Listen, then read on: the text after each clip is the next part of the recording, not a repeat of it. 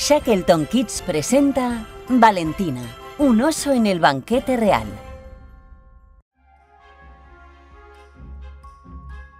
¿Está todo listo? ¿Todo a punto?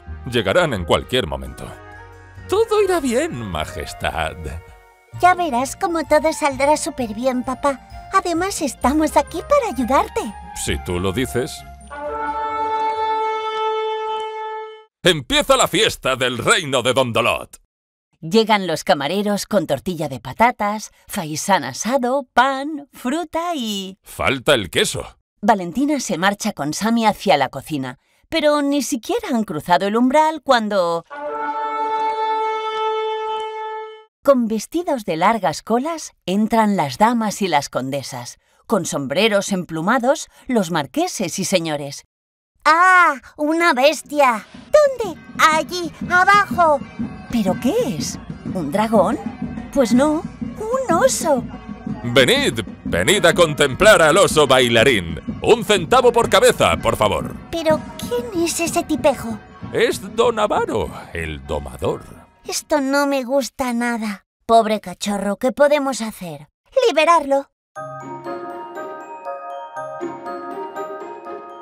Poco después, Pepe, el fiel halcón de Valentina, cae en picado, coge el sombrero de plumas de Don Avaro y se lo lleva volando. Don Avaro empieza a perseguir a Pepe. Sammy pronuncia un hechizo y...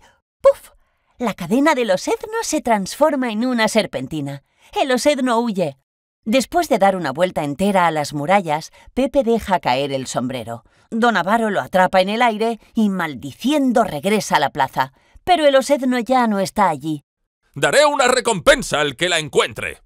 Yo encontraré a la bestia.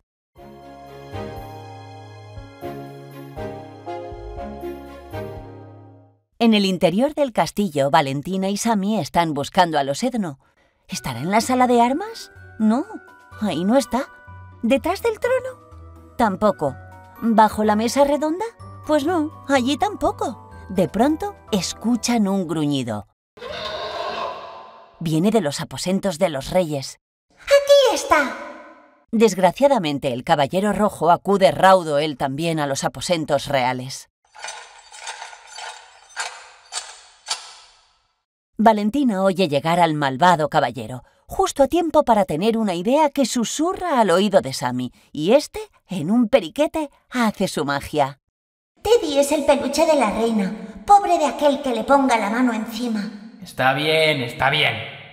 El caballero rojo se va. Entonces Sammy chasquea los dedos y el peluche vuelve a ser el osedno de siempre. Princesa, ¿te parece el momento de pensar en qué ponerte? Esto no es un armario, es un pasadizo secreto. Oscuro como el carbón y lleno de telarañas. Valentina, Sammy y el osedno se arman de valor y se adentran en el pasadizo secreto hasta que por fin ven una luz y sienten un aroma a tortilla de patatas. Así que ahí es a donde conduce el pasadizo secreto, a la cocina del castillo. Apenas tienen tiempo de ocultarse tras un saco de harina porque enseguida aparecen en la entrada el caballero rojo y don Avaro. ¡Rápido, Sammy! Hay que transformar otra vez al osedno. ¿En queso? Sammy pronuncia unas palabras mágicas y donde antes había un osedno, ahora aparece una gran pieza de queso manchego curado. Se ponen en marcha con el osedno queso hacia la salida, pero el caballero rojo se fija en ellos. ¿Qué está pasando aquí? Vosotros dos, llevaos ese queso. El rey lo está esperando desde hace rato. Y así, al fin, logran salir de la cocina.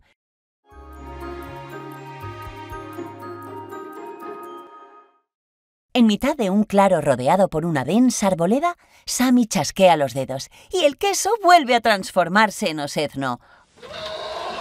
De repente aparecen dos osos. ¡Son sus padres!